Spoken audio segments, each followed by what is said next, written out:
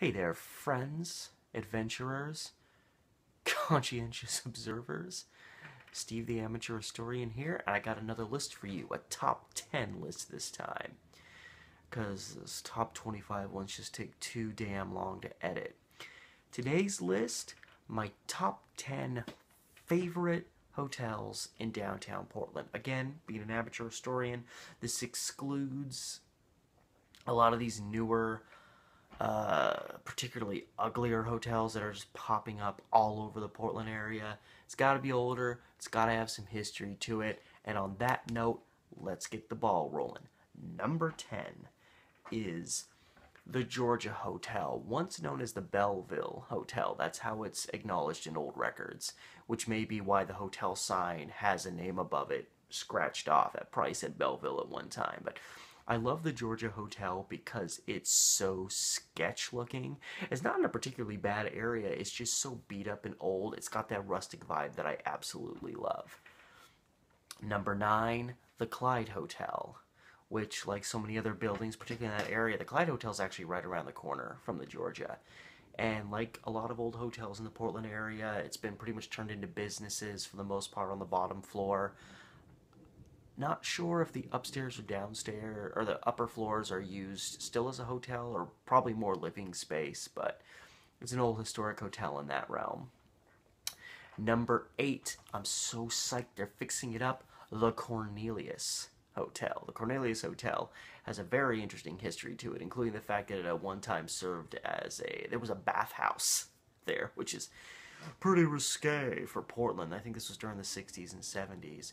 Uh, but the building is sat pretty much empty for the last several decades. A fire during, I believe, the 1980s torched like the upper half of the building. So it's just kind of sat there, and you can still see kind of the fire damage and whatnot to the place. But it's really rustic. It's really cool. It was gorgeous when it opened, and they're fixing it up, and it, that's so awesome. It's been dormant for like almost 30 years, so I'm real psyched that they're fixing that up. Next on the list, number seven, a pretty obscure place. You gotta really know your way around downtown to find this place.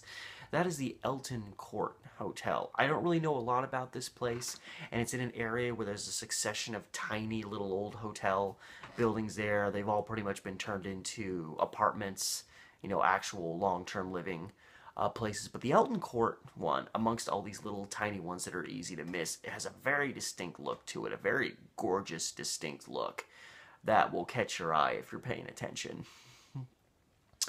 Number six, tragically, this place is going to be gone very, very soon, and that is the Hotel Albion. And I'm assuming I'm pronouncing that accurately. Uh, Hotel Albion is more prominently known as the Lotus Cafe. Um, there's actually an old ghost sign that says Lotus Hotel on the back, so I'm assuming it was originally the Hotel Albion when it first opened.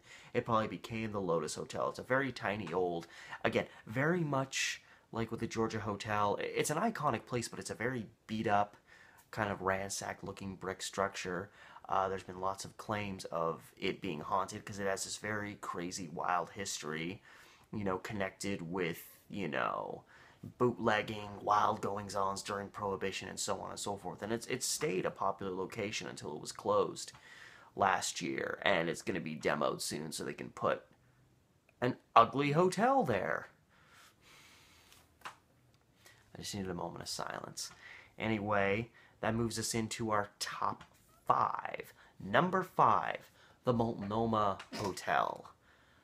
Big, eye-catching. You can be you know, five blocks away and you'll still see it just towering into the heavens. It's one of those really cool hotels that's like three buildings meshed together as one. Eh, very.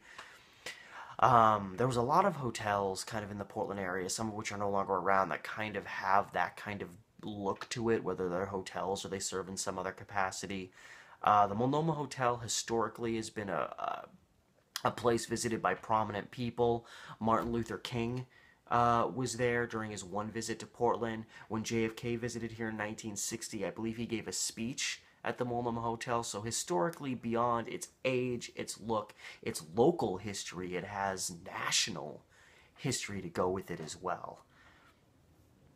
That brings us to number four. We're moving north into Chinatown, the Merchant Hotel, uh, one of the oldest buildings in that area. Uh, beautiful cast iron look to it, which dates it back to the 1800s. You know, no later than 1890 because they stopped making cast iron buildings after that. And the Merchant Hotel is just, it's big, it's towering, it's beautiful, it shimmers that kind of beigeish, goldish sheen it has on it.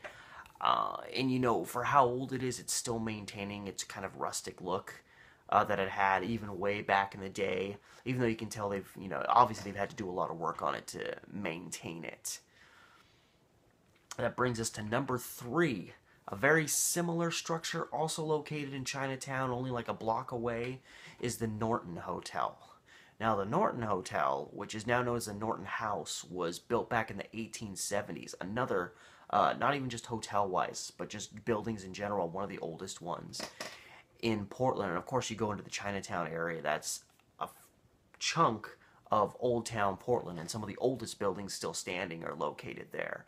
Uh, and the Norton House, a lot like Merchant uh, House or Merchant Block as it's known now, or at least referred to now, it has this kind of great sky blue color. Um, I believe it used to have a third floor that it no longer has, so it's only two stories tall. It's very flat and long, but again, it has that really great old school cast iron look to it. They've really maintained that place well. I'm really glad that a lot of these old buildings in Chinatown they've managed to fix up and keep nice. And I know there's like some businesses and like I think there's like a bar in there. Like I'd love to go in there and get a drink sometime just to go inside that place. That brings us to the top two. Number two, probably one of the, if not the most iconic hotel in Portland, the Benson. I had the luxury of stepping inside of the Benson Hotel once uh, when I was out with my girlfriend and we were just videoing it. We just wanted to see what it looked like, so we thought we'll walk in, we'll look prestigious and look around. And the inside's even more beautiful than the exterior, but the exterior is absolutely astonishing. It towers up into the heavens, this great brick structure, the, the roofing, it's got that kind of green stained, you know, marble-ish stone look to it from bottom to top, it's absolutely gorgeous. And it's probably one of the most expensive places to stay in Portland, I can only assume. I'm not anywhere near being able to afford to check out a room in that place. But, you know, it's iconic and it's memorable. And people that come into town that got a little extra money in their pocket, they stay in that place for a reason. And it's, I mean, it's probably ripped off to stay there, but at the same time, it's as far as hotels go, it's probably you're gonna get as much for your money as you can get anywhere else. Which brings us to number one, my most favorite hotel. If you watched my top 25 buildings one, you know I got a soft spot for this place. It's gorgeous, it's super old, and it looks unblemished, absolutely gorgeous today. That is the Imperial Hotel, located technically a little on the outskirts of Old Town, but pretty much right there. Uh, the building is over 100 years old, I believe, but you wouldn't know it if you looked at it. it. Just the, the beautiful brown look, it just it shimmers in the light.